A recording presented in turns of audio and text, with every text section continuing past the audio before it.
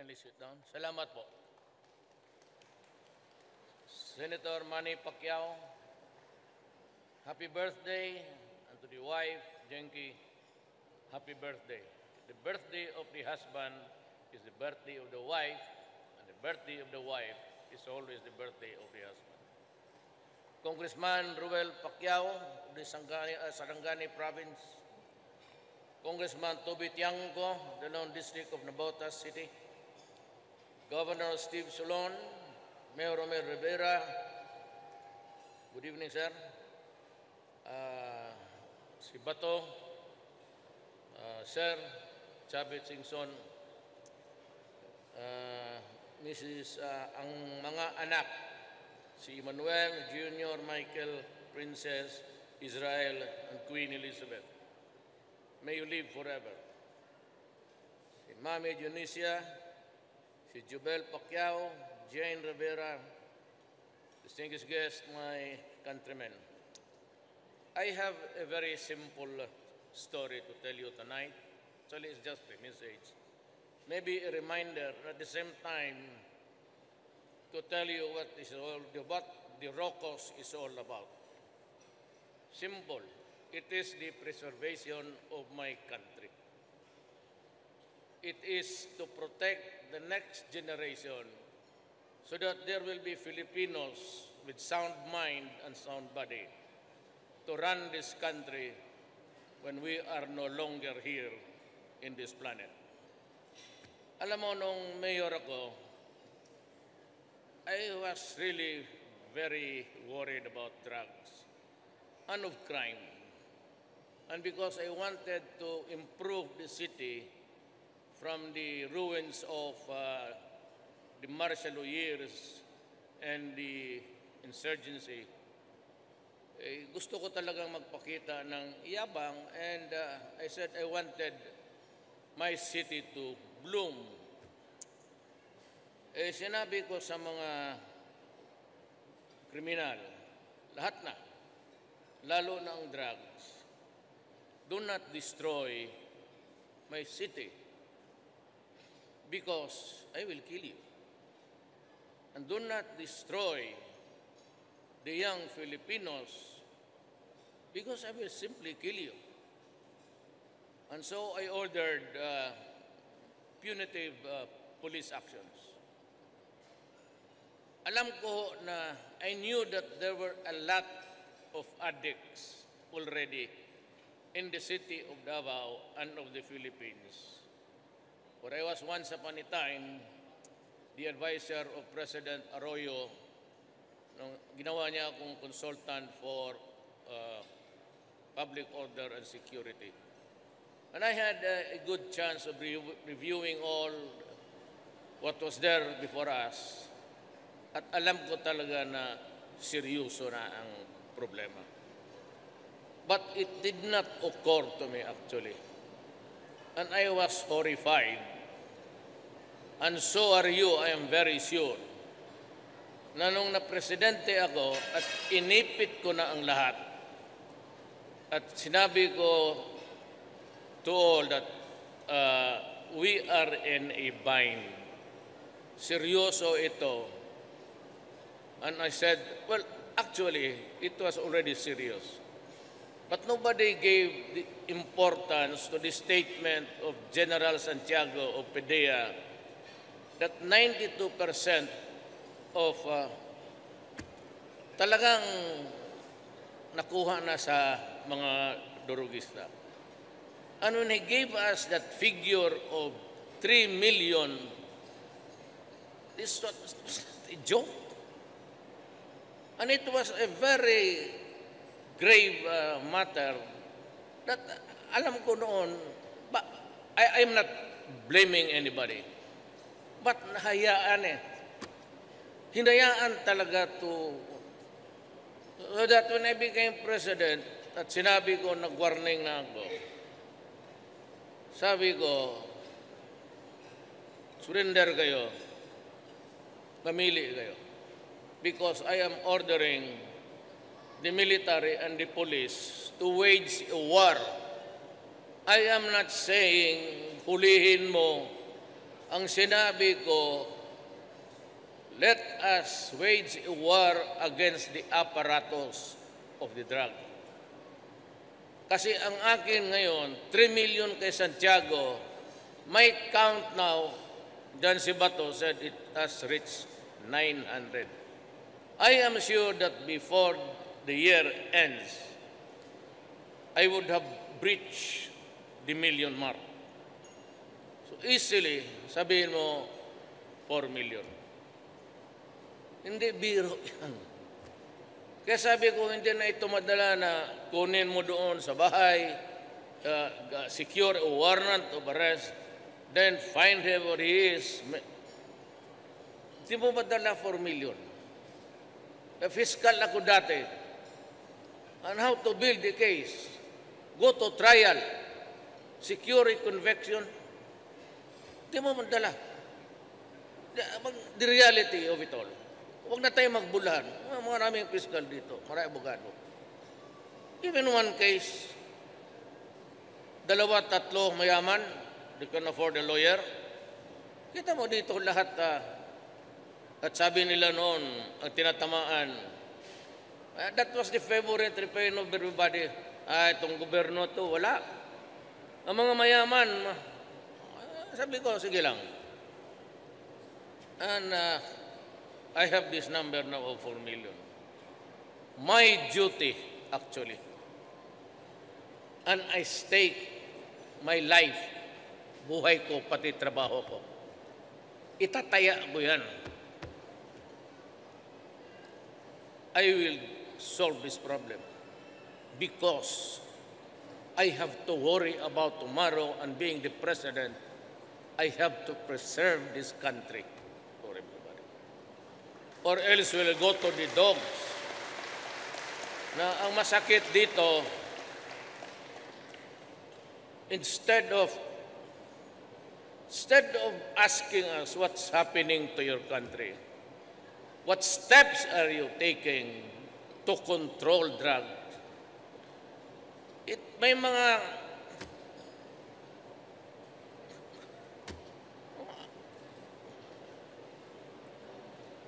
Gusto ko magmura eh. I'm just trying to get hold of my temper. I know I'm, I have a very bad temper. I know that.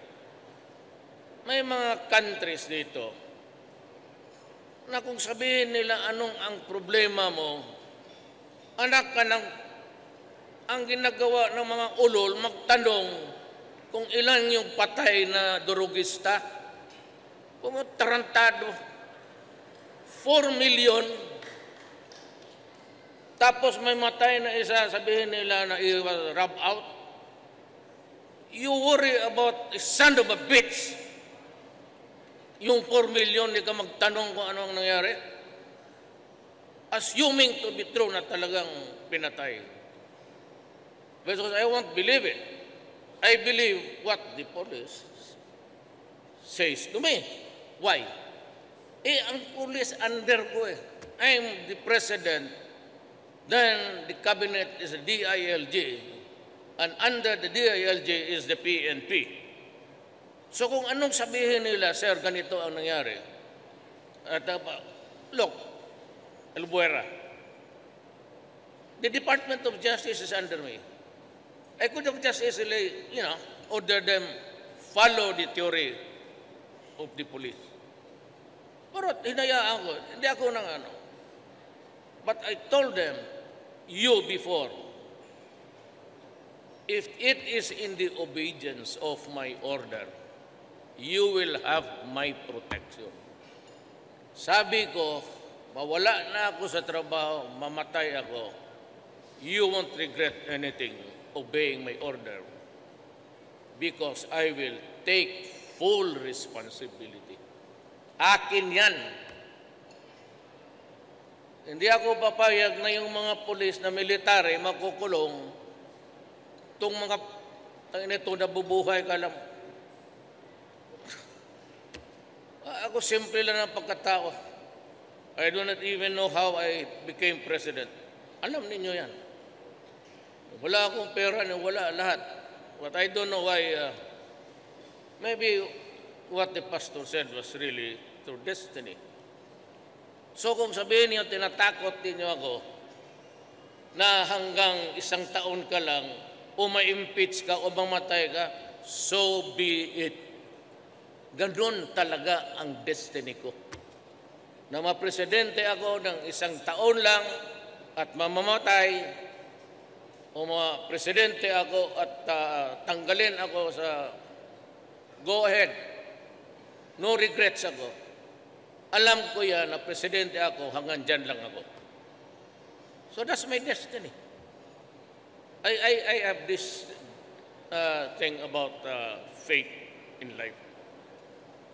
And faith in God.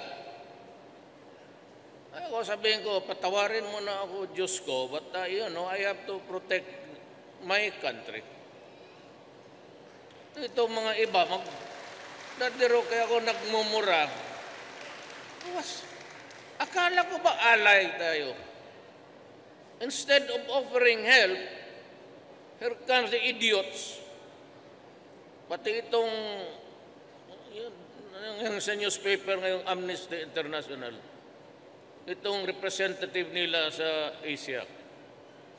He said that Duterte, when he talks about to the police of killing, he is promoting impunity.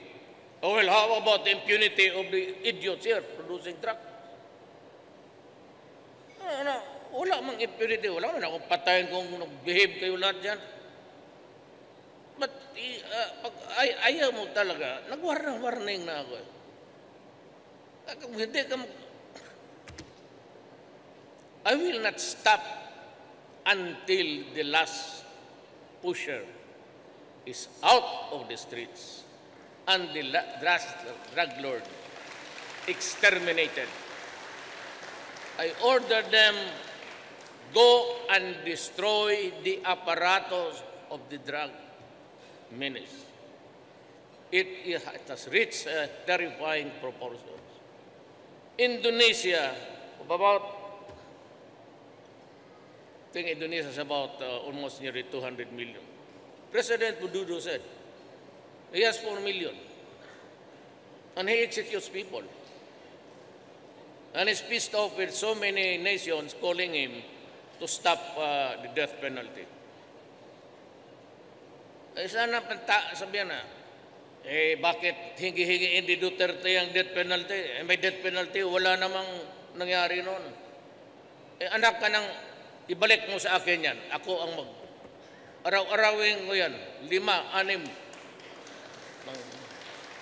Yung totoo. Kaya ako hinihingi kasi talagang hiritan kita. Ngayon, ayaw niya ibalik ang death penalty. Ibang hirit tayo. You want it legal? Fine. You destroy my country, I destroy you. Wala na tayong pinag-usapan dito. No, that, that's why itong mga kasi itong mga no offense intended. ah. Istorya na lang ito. Istorya lang man ito. Yung mga demonstration, uh, human rights. Yan mo lang mga yelo, gusto nila ako tanggalin. E di sige. Ah, paningkamot mo. Oh, puta. Pero itong left, ang mga left hindi yan mag, they will never allow na maalis ako pagka-presidente. It's the only during my time that they agreed to talk. Why? Alam na ninyo kung bakit. I am the first left president of this country. Pero hindi ako membro ng Communist Party of the Philippines. But I grew up dito sa Mindanao. Nag-migrate lang yung tatay ko, married uh, Mindanao lady. Hirap ang buhay namin. Talagang hirap. Kaya I'm a socialist by my political dimension. Di ako mapapasali-sali na I, I, I, choose my crowd because uh, parang, ano, uh, ito hindi bagay sa akin. uh, ito lang ang bagay sa akin. You know, this traveling, sabi that I'm traveling, I hate to travel. Totoo lang. Nagpuputang. nagayaw-yaw ako. Kaya lang itong foreign affairs, we are hosting the ASEAN summit next year. I have to go around to the member states to ask for their stand on this matter dito sa trade. Mabutit na lang hindi tuloy yung tarantaduhan ng Amerika. Yung Pan-Pacific. Uh, ano pag, pagka kung, pumasa yan, hindi tayo, we will not qualify. And then you have to sell your medicine. Wala na generic, branded lahat. Member ko ng Trans-Pacific Partnership. So, yun ang, that was yung nagkagulo. So, they have forgotten it. I don't know what, what happened along the way. Kaya kukuha yan sila. Ano ba ang ano natin? Because ako ang mag-prepare ng agenda. So, kailangan ko i-one-on-one sila. Ano bang gusto mo? Para pagdating doon, smooth na. Nandoon na yung gusto nila at ano yung pag-usapan. Baka sabihin ninyo, nag enjoy ako dyan. Tanongin mo lang lahat sila.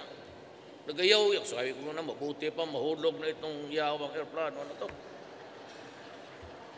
No talaga, totoo. Sabi ko yan sila, nandiyan si Defense Secretary. Sabi ko, pag sige yo, may binibiro ako na babae. Sabi ko, ano, takot ka no? Buti pa, mahulog na itong puta, naka, kakapagod ah, totoo lang. At saka, I, I hate travel. Ayaw ko man magpunta-punta ng mga lugar. Ah, ah, Diyan lang, ah, I'm contented with the bahay ko, yung after dark dyan. Hindi naman ako makainom. Tapos mag-intriga, sabi ko may sakit ako na ano, headline kagad, Duterte will die. Gago. Hoy, istorya lang yan. Maniwala ka pala. Oh. Kaya ko nilalaro yung mga buang. Tingnan mo kung ano sabihin ko. Kunin ka agad nila. Totoo yan. Kung ano, ito sabihin ko na ano ako, ganon. Ah, Pati mga babae ko, binabastos yung buhay ko itong isang, may isang kolumnista dyan na ah, may programa niya.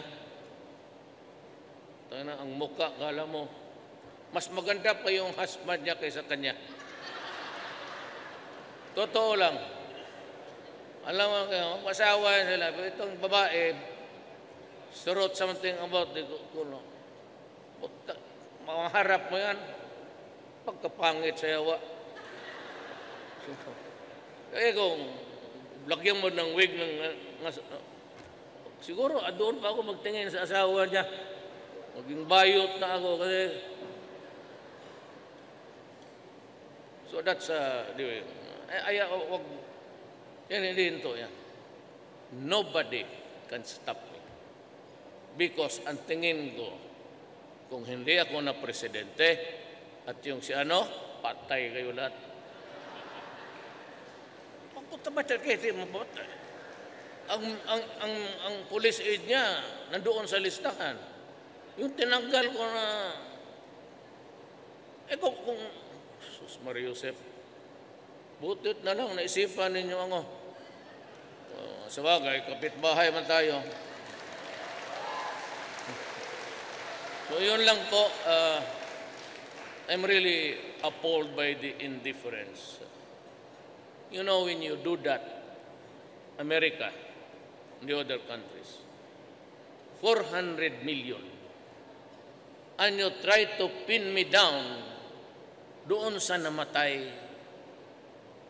na 5,000, 6,000. Walang operation si Bato right at the start. But if you take two steps backward, weeks before I became president, pataya na. So what does that, what does that tell you? Naglilinis, naglilinis yan sila noon. Yung unang birada, yung akin, no, about a third of the killings, talagang encounter yan. Kayo dito sa Jensan, medyo marami man. Eh marami kayo nakita. It is always a paranoia thing. you get addicted, there's a certain uh, amount of chemicals in your brain, paranoia sets in. Asawa, bugbugin kasi nangangaliwa, buti nga. Tapos, uh, ito, kalaban niya, yan, uh, suspitsyoso.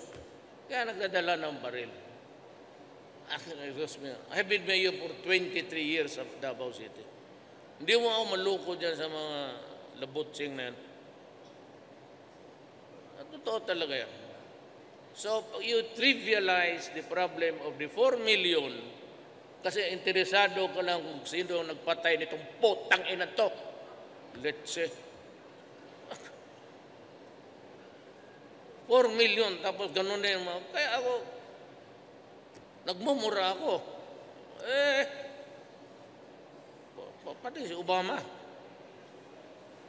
Look, ito ah, man, mapolitiko ka man, magiging presidente ka rin, tingin ko eh. Totoo.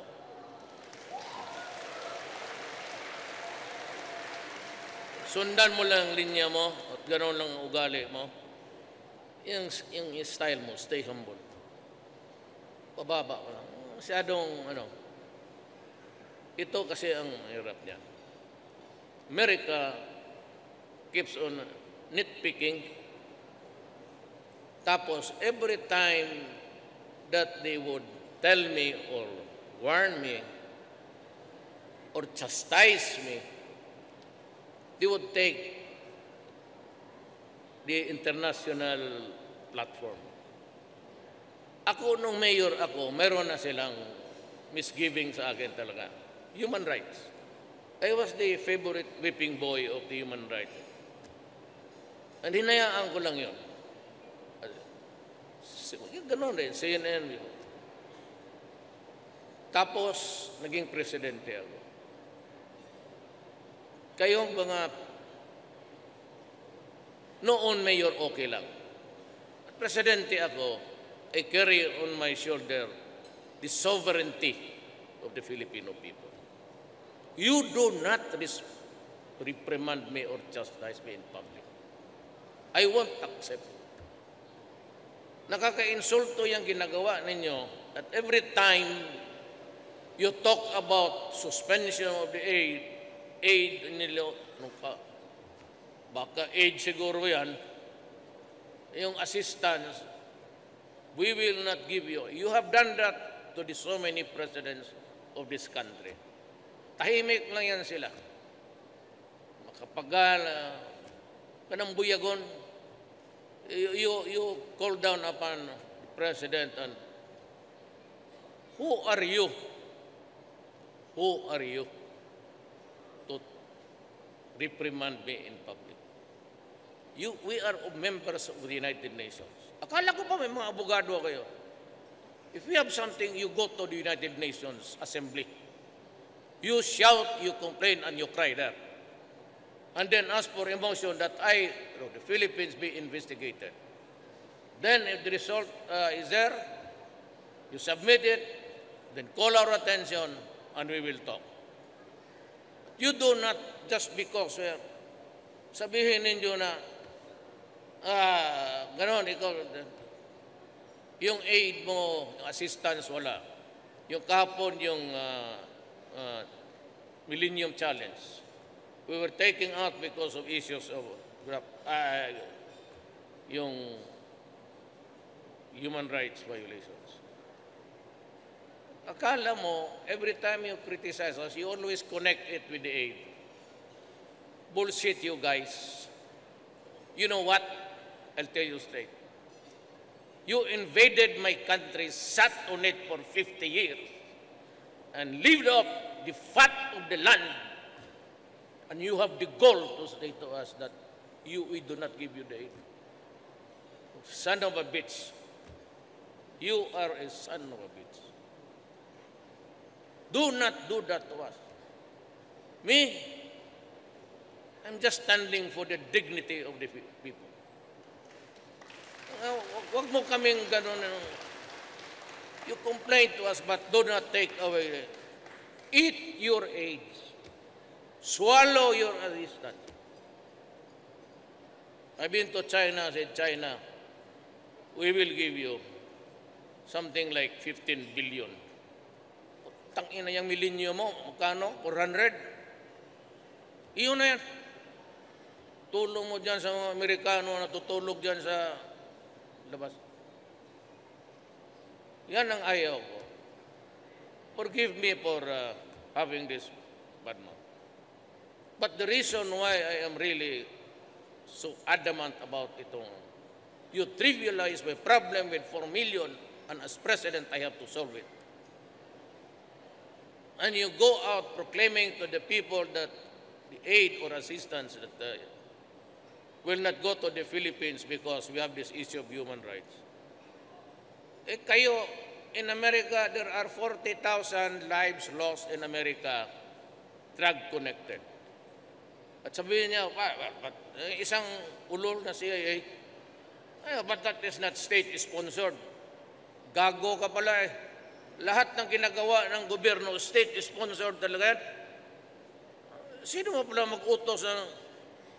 Hindi tayo nakakaintindihan dyan. It is always an act of state. And what I'm doing is just eh, following the natural law of self-defense. Four million, and you do that to us, you must be awfully stupid. Eat your age and uh, we will survive. I'll go to China. I will accept the 15 billion. Eh, 400 million lang inyo eh. Kayo, kayo na nga ang walang pera dyan. Tapos na we ordered M16s. You suspended the transaction. Good. Actually, I'll tell you the truth. In public, China has been calling us almost daily, kunin mo na ang 26. We're giving you even 30. Libre. Sabi ko, you know, uh, uh, Ambassador, you know, uh, the budget is still uh, uh, in, in, in, in the drawing board. It will take effect next year. And if maybe if I have the money, I'll buy. Sabi nila, no, we'll give it to you free. See? Tapos sabi ng Russia, kausap kami ni Putin, we have everything for you. So, tinawagan ko, ah, yeah, we'll give you. Take one by one. Ah. Saan ka nakakita ng ganun? Baka, istorya lang yan. Pero ganun na nga ang takbo. Ganun ang takbo ng usapan. So, that is the... Kasi, you ignore us. China is here. Sa katabi na Japan, Korea, Taiwan. Puro lahat yan may military bases ang Amerikano. Dito, umalis kayo. Umalis kayo sa Pilipinas. I do not want to see any foreigner, any military foreigner. Not even Chinese or Russian. You go out. Uh, according to the Supreme Court, the BFA is uh, visiting for agreement is uh, an executive agreement, in the treaty. So, start packing your things. Start packing your things and get out of my country. You want to come back here? You pay us. You want basis, sir? Pay us. Transaction tayo. Pera-pera na lang tayo. Buti pa. Wala, wala namang gira ngayon. Why would I allow you here? You want to create World War III? If you do that, if all the nuclear explosives are really, this planet won't be around tomorrow. It's the end for all of us. So why would we pick a fight with anybody? At saka ang ayaw ko, yung they are training the Filipino soldiers. Itong maneuver, maneuver. Putang ina, kaduwag ninyo. Kayo? Turuan mo itong sundalo natin na payag mga ni walang kain yan tatlong araw. So, mga sundalong Amerikano, pag sa kampo, maghanap ng air condition na tent. gusto ng ham and egg. Gusto na. Pilipino, wala, wala mabuto sa Labayan lang ni mo, Karinorte, ah, diretso. Wala air condition. Pero we are more durable, more brave. I tell you, do not teach us about warfare. We have the longest uh, insurgency problem here. Kaya sinabi ko sa mga komunista, anong gusto mo? We fight for another 45 years. Pati MI, 72. Eh, yung MNLF, Sinor. It's almost 45 years. You want another 45 years? Come on. Except for the itong mga maote, they're a very dangerous group because they are, well, allegedly swore allegiance to the ISIS. That we have to be very careful. I'm not, I said, I do not want to fight. I do not want to kill anybody. Pati yung mga droga. Pero if it would take uh, to the last day of my term, six years from now, fine. I'd be glad to oblige you. Putang ina, ubusin ko talaga kayong lahat. Tingnan mo. Ah, magsumbong ka na doon sa United Nations. Sunugin ko pa United Nations kung gusto ninyo. Pag ako puntang Amerika, sindihan ko yung yawa na yan. Well, uh, yun lang po ang I have to I, I ask permission from uh, President to be Manny Pacquiao. Ah, ako nagbitaw na ako ng salita. So, klaro na yan.